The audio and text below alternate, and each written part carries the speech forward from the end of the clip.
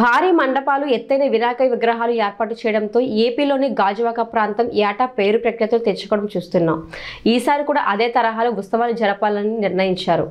నిర్వాహకుడు చెర్రీ గణేష్ నేతృత్వంలో పాత గాజువాక లంకా మైదానంలో రూపుదిద్దుకుంటున్న భారీ గణపతి విగ్రహ నమూనాను Gajuwaka MLA Tippala Nagireddy MLC Varadu Kalyani BJP Gajuwaka convener Kannamareddy నరసింహరావులు ఆవిష్కరించారు.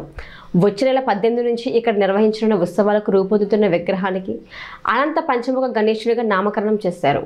అనంతరం పోస్టర్ను ఆవిష్కరించారు. ఈ కార్యక్రమంలో వైసీపీ ఇన్ఛార్జ్ తిప్పల్ దేవన్ రెడ్డి కార్పొరేటర్లు ఉరుకుటి చందు మహమ్మద్ ఇమ్రాన్ పివి సురేష్ పల్లా చిన్నతల్లి గూటూరు శంకర్రావు బాటా శ్రీనివాస్ యువశ్రీ రోజారాణి బొడ్డా గోవింద్ తదితరులు పాల్గొన్నారు.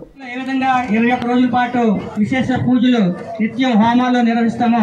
అదే విధంగా మన లంక గ్రౌండ్లో కూడా నిత్యం హోమాలు పూజలు నిర్వహిస్తూ పలు సేవా కార్యక్రమాలు కూడా ఇక్కడ నిర్వహించడం జరుగుతుంది. మనం ఇప్పుడు అందరూ చూసాం చాలా చక్కగా పిల్లలు కూచిపూడి భరతనాట్యం కోలాటంతో పిల్లలు పెద్ద మహిళలందరూ కూడా అలరించారు. ఇలానే ప్రతిరోజు ఒక పండగ వాతావరణంలో మన లంకాగర మైదానంలో చాలా చక్కగా ఇరవై ఒక్క రోజుల పాటు నిర్వహించుకుంటున్నామంటే దానికి ఈ యొక్క గ్రౌండ్ని ఇస్తున్నటువంటి లంకా వారి కుటుంబ సభ్యులకి ప్రత్యేకమైన ధన్యవాదాలు సార్.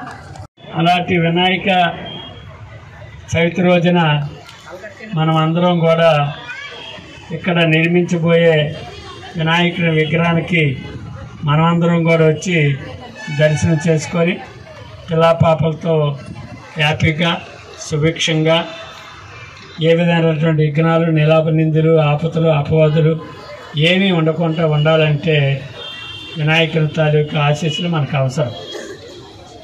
ఇంత భారీ ఎత్తున మరి కార్యక్రమాలు కార్యక్రమానికి శ్రీకారం చుట్టడం అంటే ఇది ఛాలెంజ్తో కూడుకున్నటువంటి విషయం. టైంని కూడా స్పేర్ చేయవలసిన అవసరం ఉంటుంది.